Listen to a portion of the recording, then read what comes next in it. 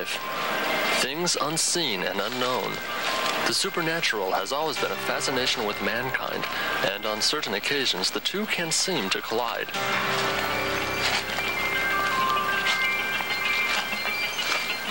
One location where this seems to have happened over the years is Ashley's Restaurant in Rockledge.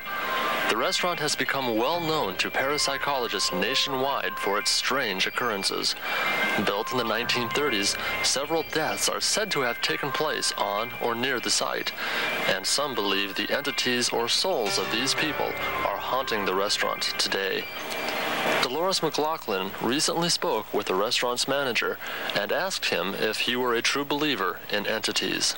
Um, I'm not a true believer, but we've had enough occurrences that uh, makes you wonder sometimes. Um, we've had uh, a lot of incidents. We had an incident oh, a couple months ago where my wife was walking down the stairs and got to the bottom of the stairs and thought somebody was tapping on her shoulder all the way down and turned around and nobody was there. She came to me and said, did you do that? And I said, no. I said, I was in the kitchen working, you know that. And um, we've had just enough strange things. You know, there must be some explanation, but exactly what it is, who knows. Why aren't you a believer? I don't know. I just, I personally haven't had anything really believable. I've had enough people tell me things. Um, we have a girl Kathy Anderwood that worked here at nights, barmaid, and she was sitting here at closing time with two of the kitchen help because she had them stay with her until everybody's out of the building. And uh, they heard salt and pepper shakers clacking upstairs, and uh, they didn't bother to look. They just backed up the door and left. But um, there's just enough strange incidences, and we've had enough people come in that um, and tell us stories. What have been some of those stories? Um, the, the book, The Ghostly Register. Mm -hmm. And um, we, we, Judy Cowles, the former manager, has been in and told us and asked if we have anything happen. Um, Candy Bissell, who's one of our bartenders here, who was a bartender for Judy Cowles, um, swears one night she was in putting the money upstairs. The safe is upstairs, putting the money in the safe. And um, she heard all this racket downstairs, like all the pots and pans were falling in the kitchen, went running into the kitchen, and nobody was in there. Um, everything was on the floor, but nobody was in there.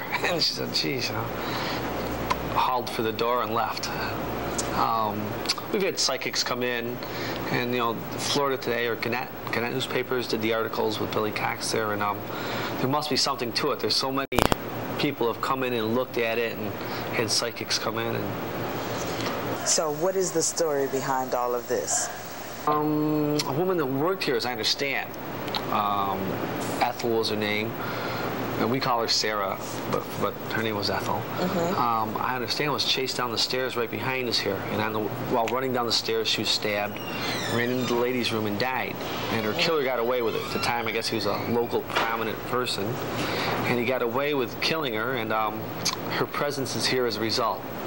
And then the psychics say that one ghost attracts another ghost. And a young girl was killed out front on the, on the street, and a hobo was killed out back on the um, tracks. And because there was one presence here already, they attract other presences. So there's actually three, three ghosts. Is three ghosts. What the, is what the psychics say.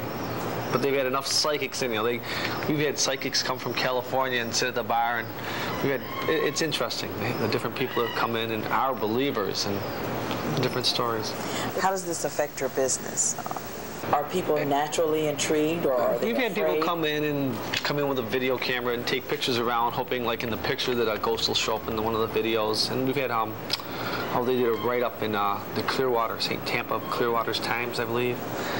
And um, we had a lot of people come over from Clearwater to look for the ghost, I guess. Hopefully for the food, but I think they came to look for the ghost. What about your employees? Can you keep them? Are they afraid to work late at night?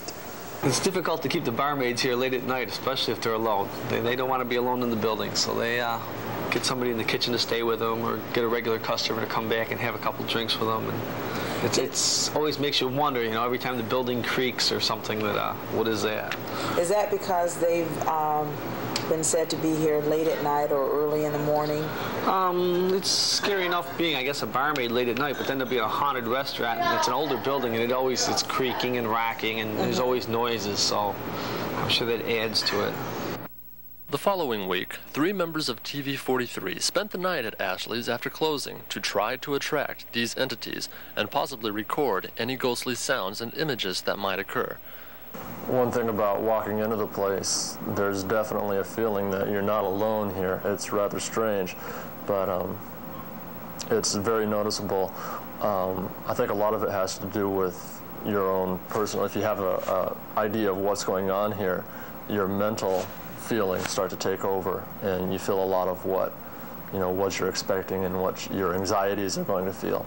Uh, to whether we're going to feel anything tonight or not, I I'm a little bit skeptical, but at the same time, I'm a little apprehensive about it, a little nervous. Um, a tap on the shoulder or anything like that, all of a sudden swinging doors behind me, who knows? I'm obviously here for a reason. It's because I do believe in entities, or spirits, or ghosts, or whatever you want to call them. I prefer to call them entities. I do believe in them, and I'm here specifically because I do want to experience something. Now, whether I will or not, I don't know. But uh, I would like to leave here uh, a few hours from now uh, with something on tape. I would like to experience something. Um, I am a believer. Um, I've had apprehensions about this. I know my wife is, is not going to sleep tonight because she knows I'm in here, but I'm with two other guys, and that helps a lot because this is something I would not do myself. Myself, I, I, I believe maybe something. Uh, entities, ghosts, poltergeist, whatever, something ha did happen here and has happened here to several people. Hopefully we'll experience something. If not, then we came and we, uh, we were interested enough and curious enough to try to find out. And uh, by the time morning comes, if, if uh, we're all alive and well, then then all the better. And if not, something has happened, we, we, then we're changed, fine. I'm, I'll be glad for the experience. This is the hallway that many waitresses and busboys have felt a choking sensation and um, and a musty odor and a cold uh, spell. And it is cold back here, but as far as anything back here, there's I don't feel any sensation whatsoever. This is supposedly, again, the corridor where the choking sensation and the musty odors and all that take place. This is the famous south stairway where um, Ethel Allen, right, was um, lost a lot of blood. So perhaps the screaming that is, has been heard in the restaurant is of the girl.